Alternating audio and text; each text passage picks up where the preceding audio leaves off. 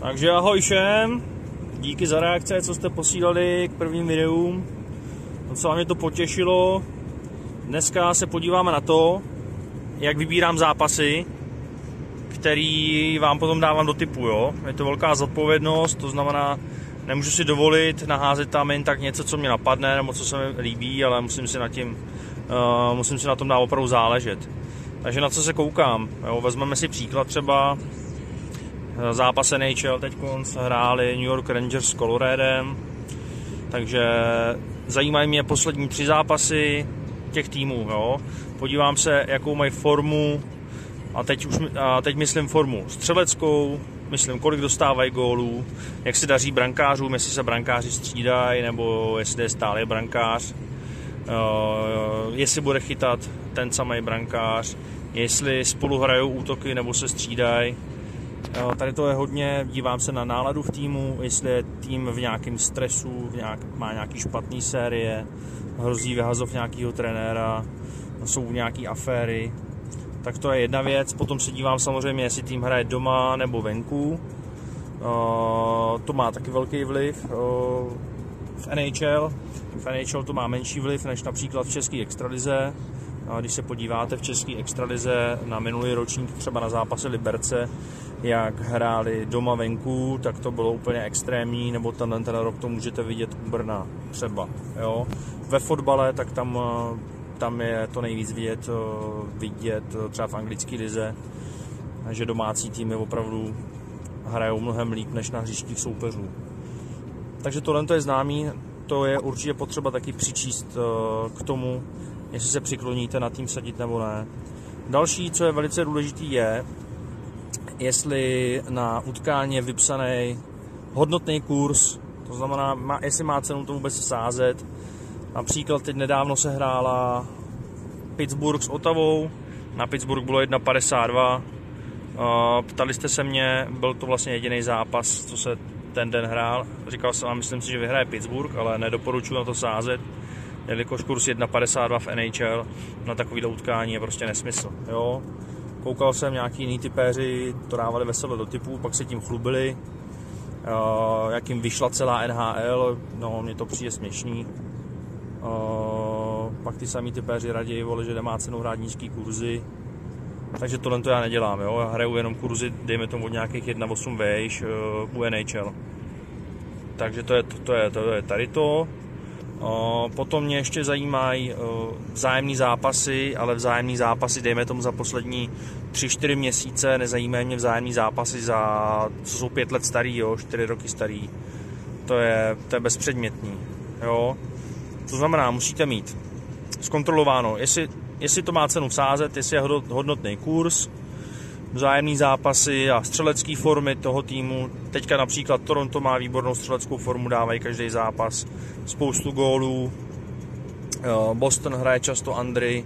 U Bostonu já třeba koukám, jestli hraje Pastrňák v první lajně, když ho dávají e, do druhé lajny, tak, tak tam taky, tam to jsem taky opatrnější. Jo. To bylo spíš minulou sezónu, nebo u Coloreda, když chytá Grubauer, má chytat, tak jsem taky opatrnější se sázkama na Colorado. Když se vrátím k tomu zápasu New York Rangers Colorado, dával jsem tip na New York Rangers, byl tam kurz 3.06 a vycházel jsem z toho, že Rangers mají dobrou střeleckou formu a Colorado hrálo den předtím s Islanders, kde nedali ani branku. To znamená, střelcům se nedařilo, o, oni občas ty formy probíhají v takových vlnách, jo? to znamená prostě je to šňůra. Není to většinou tak, že jeden zápas prostě tým, tým dá jeden gol, druhý zápas jich dá šest, pak dá jeden, pak dá šest. Prostě má to nějaký stoupání, jo? ta forma chvilku vydrží těm hráčům, nevydrží. Ale samozřejmě je to i hrozně o štěstí. Jo? A teďka k tomu, jo? já vám zanalizuju nějaký typ, k tomu typu prostě použiju veškeré tyhle ty informace, co jsem vám říkal. Nezajímá mě teda postavení v tabulce, to mě nezajímá, jo? To na to nekoukám. A teď konc, když ty typy vyplivnu, mám nějaký kontakty tady v České extralize, v Čancelize, něco i v zámoří v, v, okolí, v okolí Miami. Takže mám možnost si zavolat, ale informace, které já dostanu, tak není informace, že hele, tenhle zápas je zaplacený, tenhle tým prohraje nebo tak. Ne, takhle to není. Já, já maximálně vím, že nějaké jeden, dva hráči z přesilovkové formace dostali třeba volno a nemusí cestovat na, na venkovní utkání a to vím třeba dřív než sáskovka tohle. Jo? Takže když, když já vám dodám ty typy, informace, tak už neovlivním to, jak samozřejmě ten zápas dopadne, jo. Já už neovlivním to, jestli si prostě, jestli si spoluhráči dají dobře přihrávku, jestli se puk správně odrazí od betonu, jestli se odrazí od tyčky do brány, nebo, nebo ne. Jak bude pískat rozhočí, jakým bude měřit metrem. Mohli jsme to vidět včera u zápasu anglického poháru, kdy hrál Leicester s Aston Villou když se podíváte na statistiky, je to naprosto šílený, že zápas skončil remízou. Statistiky nám říkají, že by to mělo být tak 5-0, ale bohužel je to sport a může to dopadnout jakoliv. To znamená potom, uh, potom když nadáváte, nevíde nějaký typ, tak opravdu já vycházím, vycházím z nějaký analýzy, z nějakých informací, který mám, který mám lepší než vy a v tom je ta hodnota. Jo. Samozřejmě je tam i nějaká intuice, ale opravdu člověk už potom ten výsledek samozřejmě neovlivní. Potom ještě druhá, druhá část tohohle videa, chtěl bych se vám vyjádřit k nějakým tady těm ostatním typérům a podvodům, co se dějou, co mě posíláte. Já tady to pro vás dělám zhruba rok a za tu dobu jste mi toho poslali hromadu.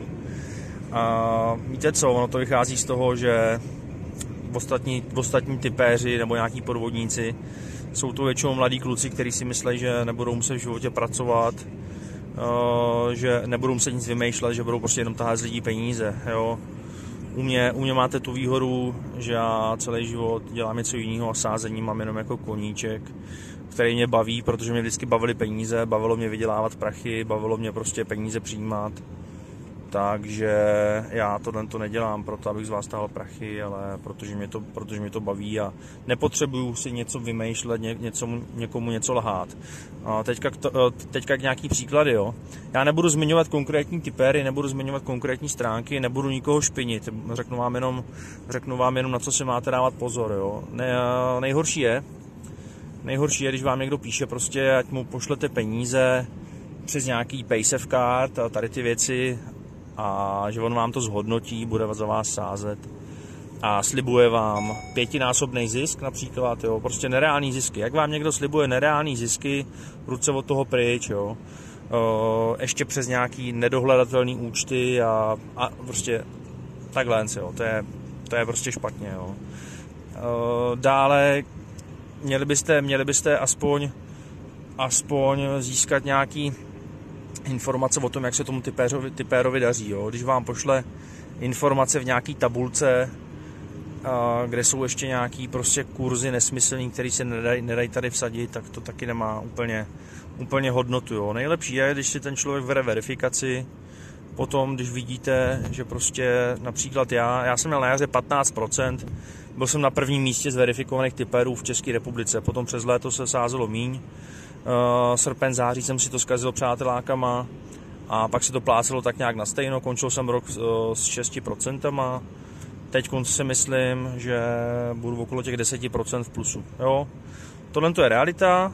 Uh, je, to, je to vlastně s českýma kurzama, to znamená, je to velice obtížný. Kdybych sázel někde tamhle v, v Americe nebo v Británii, bylo by to asi lepší, ale já používám pro verifikaci kurzy z typ sportu. Jo.